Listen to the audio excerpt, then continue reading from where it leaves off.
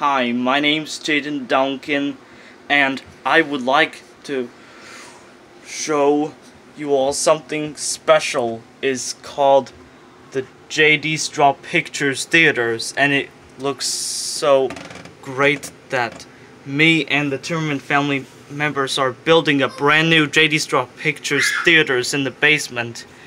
And this looks great, so if I would like to tell you all something of it, and I'll let you know if it's gonna happen next for later.